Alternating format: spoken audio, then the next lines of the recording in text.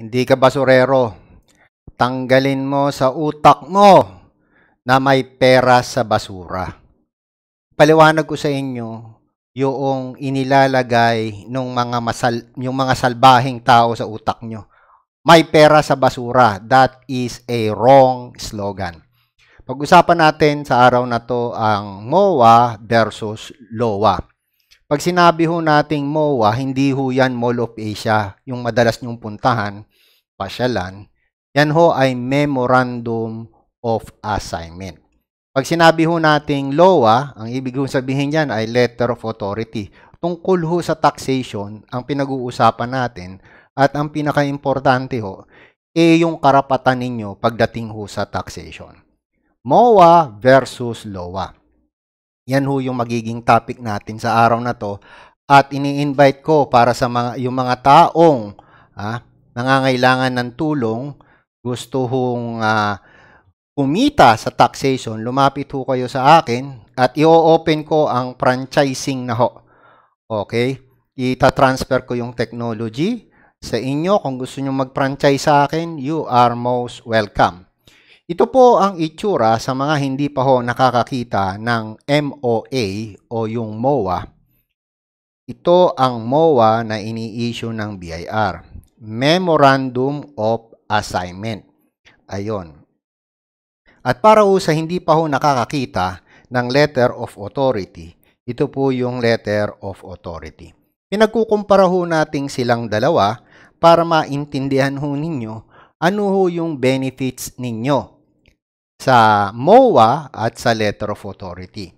Ang isa sa mga benefit na matatanggap po ninyo kung marunong ho kayong gumamit ng MOA ay inire-request ko muna napaka-click ho ninyo yung like button para ho yung uh, Facebook at saka YouTube na algorithm ay mabit ho natin. Ibig sabihin, eh, dumami ho yung nakakaalam nitong pinag-uusapan ho natin click the like button. Now, MOA, maliwanag kong binabanggit dito mga kasakspayer ko, nagkaroon ng reassignment. Ayan ho yung binabanggit. Reassignment. Sino yung ne-reassign? Meron hong original revenue officer. Original. Yung original revenue officer, ang pangalan nun ay nakasulat ho sa letter of authority. Dito ho nakasulat yan. Yung revenue officer na original at saka yung group supervisor na original na ang tatawag natin ngayon sa araw na to ay na sila number one, uh, original. Ngayon, ang ginagawa ho ng mga revenue officer, revenue district officer, ay pinapalitan sila, kaya reassignment. Ang sinasabi ho rito, reassignment. So, magkakaroon ho ng bagong revenue officer. Ito po yung bago. Makikita ho niya, nandiyan yung pangalan. Tawagin natin silang number 2. At yung luma, andi dito ho yung pangalan nila. Ayan yung pangalan ng luma at saka lumang group supervisor. Sinabi ko na, sila si number 1. Ang ibig lang hong sabihin dito is ini-inform kayo na hindi na po mag-o-audit si number 1. Dahil hindi na po sila mag-o-audit, papalitan ho sila ni number 2. At si number 2 na po ang makikipag-usap sa inyo. Alam ho ninyo, ang benefits ho nito ay napakalaki. Katulad ho nitong assessment na nangyari ho sa isang taxpayer, inassess sila ng napakalaki. Ayan po, Maring sa iba, napakaliit nito, pero sa uh, taxpayer na to, eh malaki ito. So, puntahan ho natin yung total assessment. Formal letter of demand, inassess sila ng, ito po, pagdating ho sa income tax, income tax, ang assessment is 1.1 million. Pagdating sa value added tax, ang assessment po ay 4 million. So, sa isang maliit na kumpanya, malaki na yan. Pagdating mo sa withholding tax, 40,000.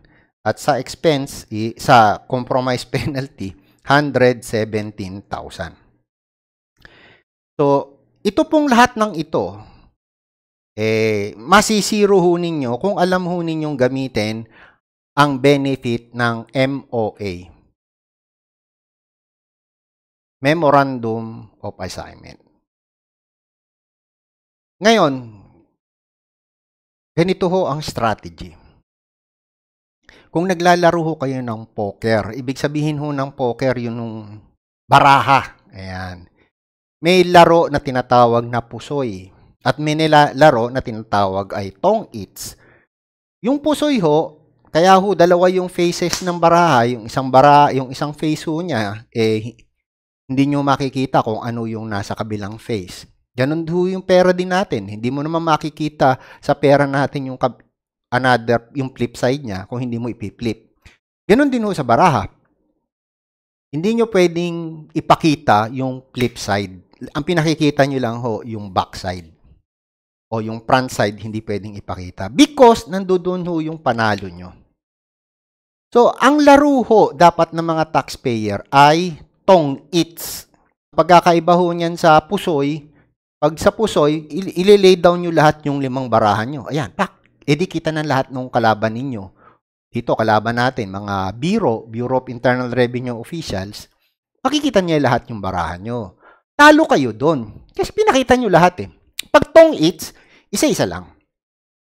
So, isa sa mga baraha ho ninyo na ipapanalo ho ninyo at ang kapalit ay 5 million tax savings o money save ay ito pong Memorandum of assignment.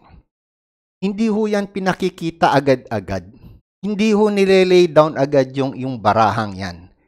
Tinatago ho yan at pinoproteksyonan. Idinidikit nga maigi sa puso ho ninyo. Inilalapit ninyo sa inyong puso.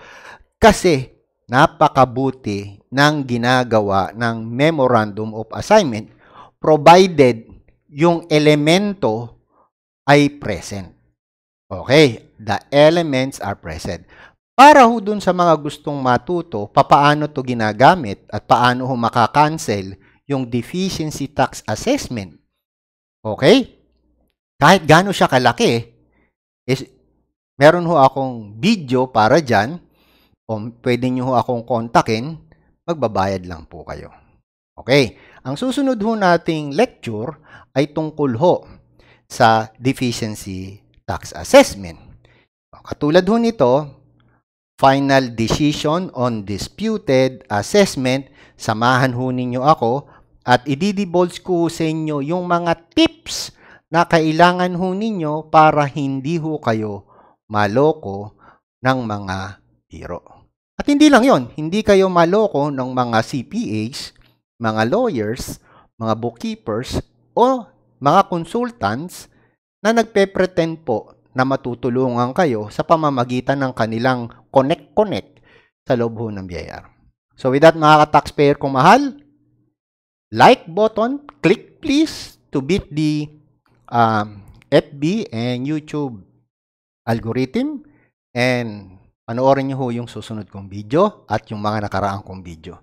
Peace and happiness be with you for life. See you later.